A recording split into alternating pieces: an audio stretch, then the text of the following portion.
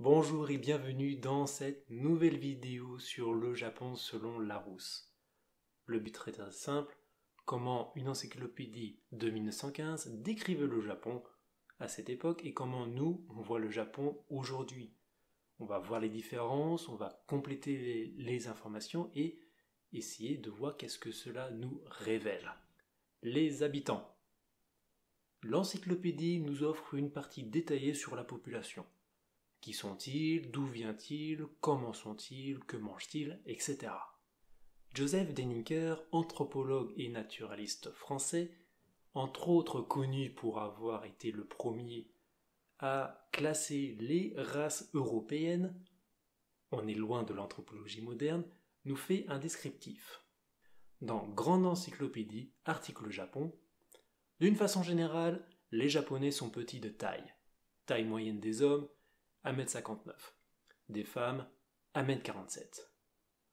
Pour comparer avec aujourd'hui, la taille moyenne au Japon est de 1m71 pour les hommes et de 1m58 pour les femmes, soit environ 10 cm de plus entre les années 1910 et aujourd'hui. Cette augmentation de taille, elle est en accord avec la hausse moyenne de la taille mondiale. À titre d'exemple, en Europe, on est passé une taille moyenne de 11 cm supplémentaires entre 1870 et aujourd'hui. Les raisons sont multiples. D'abord le régime alimentaire. Entre 1870, on va passer de 1600 calories par jour à 2200 calories. On consomme aussi plus de viande, d'œufs. Il faut savoir qu'à l'époque, la consommation de viande était quasiment inexistante, à cause, entre autres, du bouddhisme qui prônait le végétarien. Avec l'arrivée des Occidentaux, on va consommer donc plus de viande, mais cette consommation va rester très light pendant très longtemps. Je n'ai pas de chiffre de consommation à l'époque, mais je sais qu'en 1880, on consommait que 7 kg de viande par personne et par an. Aujourd'hui, ça ça a bien changé, on est passé de 7 kg à 32 kg en 2015, ce qui est encore bien loin derrière par rapport aux États-Unis avec 98 kg de viande par personne et par an. À cela se rajoutent les nouveaux euh, médicaments, les vaccins, l'hygiène, en gros, la médecine occidentale qui débarque au Japon et qui améliore grandement l'espérance de vie. Et dès l'époque, on a constaté une hausse fulgurante de la taille des Japonais. On a ici dans l'encyclopédie le témoignage d'un capitaine V qui dit ceci. À dix ans d'intervalle, j'ai été frappé de la différence. On rencontre maintenant, en bien plus grand nombre qu'autrefois, de jeunes gens non seulement vigoureux, mais de très grande taille.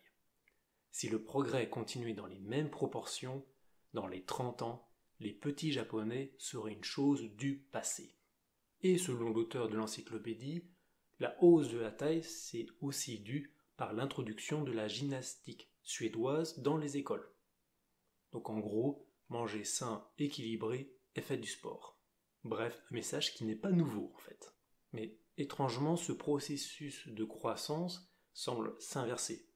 Selon une étude du Centre national pour la santé et le développement infantile de Tokyo, la taille moyenne des adultes a baissé chez les habitants nés après 1980. Mais alors pourquoi? Le pourquoi, on l'ignore encore. Mais les chercheurs ont une piste.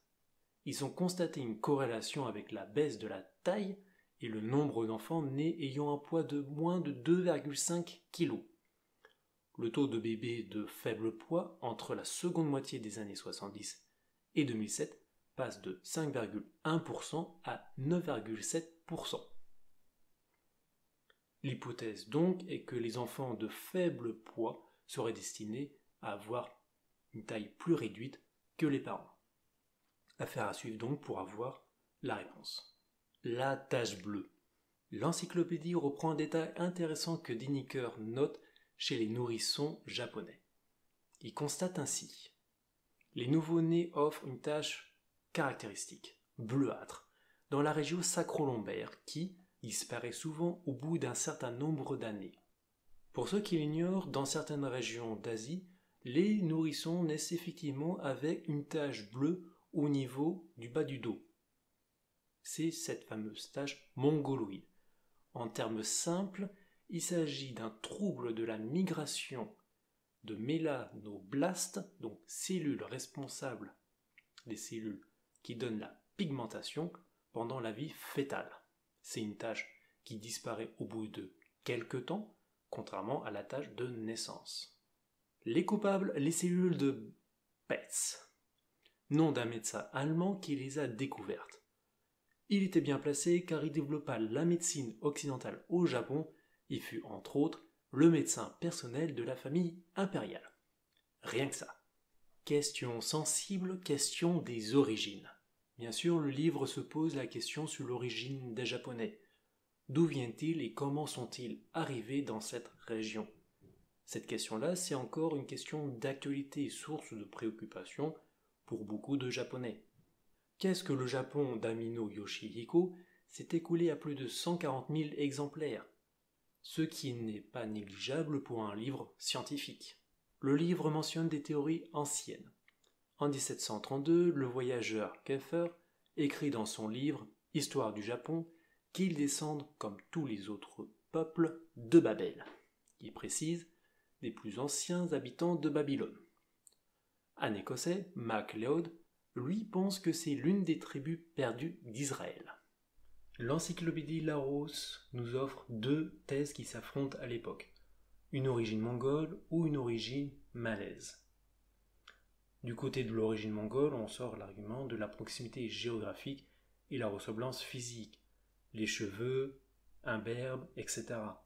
Du côté de l'origine malaise, on sort aussi l'argument géographique, les Polynésiens étant de grands voyageurs, ils ont pu remonter les courants vers les îles du Japon. Il y a aussi la même sensibilité aux maladies comme la lèpre ou le bilibili. Larousse aussi constate la similitude entre la propreté des Polynésiens et des Japonais, qui sont de grands nageurs qui vivent, je cite, autant sur terre que sur mer. Il y a aussi l'hospitalité, le sens de l'esthétique ou des similitudes entre les histoires mythiques du Shinto et des récits polynésiens. Larousse conclut que ces vagues ont pu se superposer avec le temps. Et qu'en est-il aujourd'hui? Que sait-on maintenant? Dans le département de Miyagi, on a découvert des pierres taillées datant de 500 000 ans. Mais il est encore trop tôt pour conclure quoi que ce soit. De manière plus sûre, on sait que pendant l'ère glaciaire du Paléolithique supérieur, le Japon était rattaché au continent, ce qui a facilité les flux migratoires. L'arrivée des Ainu, l'ethnie d'Hokkaido, était un peuple indigène paléo-sibérien qui arrivait au Japon vers moins 12 000 ans. À l'heure actuelle, deux thèses s'affrontent. L'origine septentrionale du nord de la Chine ou de la Sibérie via la péninsule coréenne l'hypothèse méridionale, donc du sud de la Chine, du sud de l'Asie, via les îles Ryukyu, Okinawa si vous préférez. Et il est probable que ces deux thèses sont justes. C'est juste que les vagues se sont succédées de taille variée et sur un certain laps de temps. Larousse était donc plutôt juste dans ce qu'il disait. Par contre, ce qui ne ressort pas, c'est l'enjeu de l'origine des Japonais. Si le sujet n'est pas tabou, il est passionnel. Les désaccords sur le degré d'importance, sur l'origine de ces flux, les désaccords entre les archéologues traditionnels, dire qui sont basés sur l'analyse de poterie par exemple, et les anthropologues modernes, basés sur la science, sur l'analyse de l'ADN par exemple. De plus, l'agence impériale du Japon contrôle l'accès sur certains sites historiques qui distribue les autorisations au compte-gouttes, ce qui retarde les travaux. La raison est que l'on veut éviter qu'on révèle des informations qui peuvent être gênantes, comme par exemple, imaginez le scandale si on découvre que la famille impériale du Japon est en fait d'origine chinoise ou coréenne. La population en chiffres. En 1909, l'annuaire financier économique du Japon dénombrait plus de 49 millions d'habitants. On monte jusqu'à 52 millions en incluant les îles de Formose et les Sakhalines. En 2020, on passe à 126 millions d'habitants. La population s'est accrue. effectivement entre 1910 et 2018. Mais actuellement, elle connaît une décroissance lente. Depuis 2005, en effet, la population ne cesse de diminuer en population. En 2009, on a perdu 183 000 habitants. En 2012, c'est 219 000 habitants en moins. Et 2013, c'est 244 000 habitants. Selon une étude, le Japon va passer sous la barre des 100 millions d'habitants d'ici 2048. Il y a plusieurs raisons derrière tout ça. D'abord, la faible natalité, seulement 1,7 enfants par couple, ce qui est très très très peu et pas assez pour assurer le renouvellement de la population. La longue espérance du vie au Japon qui est très élevée, même parmi les pays développés. Et aussi le Japon commence à ressentir les effets d'une vieille politique euh, qui a été instaurée en 1948, c'est euh, la politique, la loi sur l'eugénisme.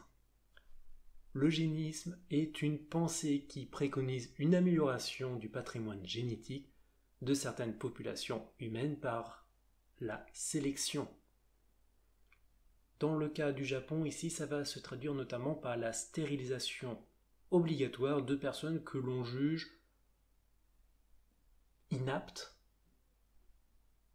Des chiffres 5600 en 1949, 38 000 en 1955.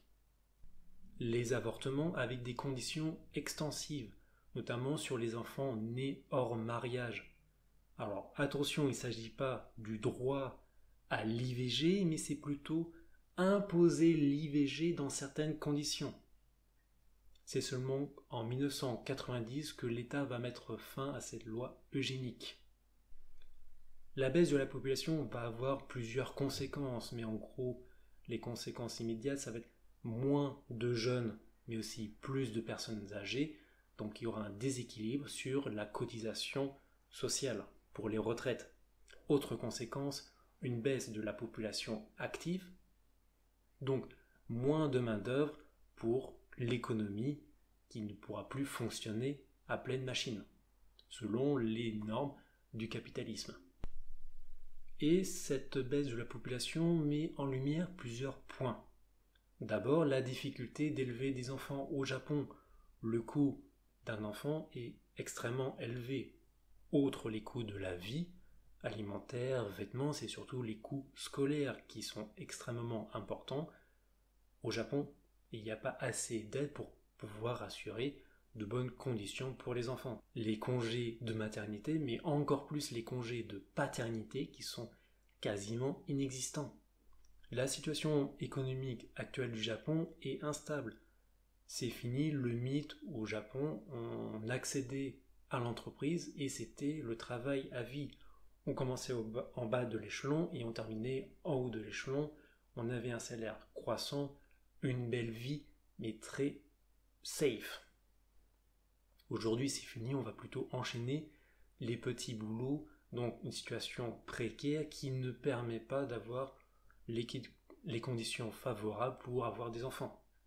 Il y a la désaffection des mariages, la hausse de personnes célibataires ou vierges est extrêmement élevée au Japon. Or, quand on sait qu'au Japon, seuls 2% des enfants naissent hors mariage, c'est un gros impact sur le taux de natalité. Et en France, à titre de comparaison, c'est 50% des enfants qui naissent hors mariage. Et il y a aussi l'affirmation de la femme.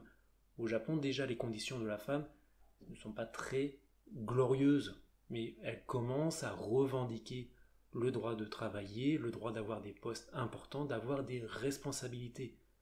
Sauf que au Japon, en général, c'est soit la vie professionnelle, soit la vie familiale.